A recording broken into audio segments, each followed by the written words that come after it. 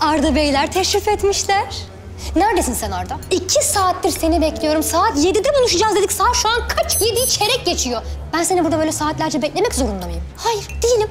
Allah'ım ya. Ne yaptın da bana böyle bir sevgili verdin acaba? Hayır yani nerelere uğradın anlamıyorum ki. Yolda gelirken bir yerlere takıldın değil mi? Niye gülüyorsun Arda? Aşkım, hoş geldin. Olur mu hiç öyle şey? Ne olacak 15 dakikadan? Ben seni bir ömür beklerim. Hem burada seni beklerken biraz aşkımız hakkında düşündüm. Ne kadar büyük bir sevgi bizimkisi diye hiç geçirdim. Akşama derbi var, izlemek ister misin? Hatta dur, gidip statta izlemek istersin diye sana iki tane bilet ayarlayacağım. Biri sana, diğeri de tabii ki en yakın arkadaşına.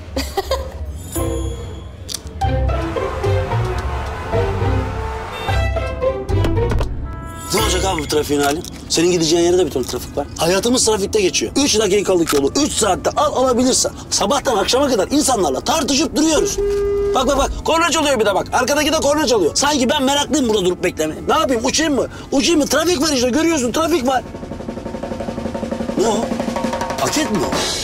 Hoş geldin abicim. Gideceğin yere biraz trafik var ama sıkıntı olmaz. Aka aka gideriz. Sen de bu arada işlerini halletmiş olursun. İstersen abicim sahil yolundan gidelim. Arası daha akıcıdır. Taksiciliğin en sevdiğim yanı ne biliyor musun abicim? Şu güzel şehri her gün en az üç kere turluyorsun ya. Bazı günler istediğin gibi geçmeyebiliyor.